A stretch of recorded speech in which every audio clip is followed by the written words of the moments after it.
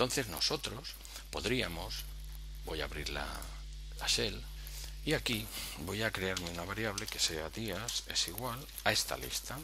31, 28, 31, 30, 31, 30, 31, 31, 30, 31, 30, 31.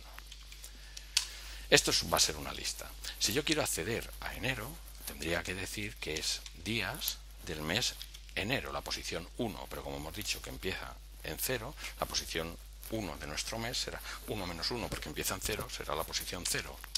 Esto es enero. Febrero será la posición 1. Marzo será la posición 2.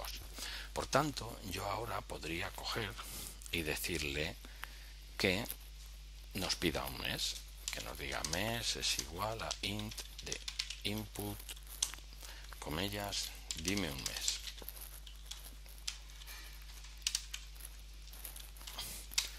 Dime un mes y le digo que es el mes abril.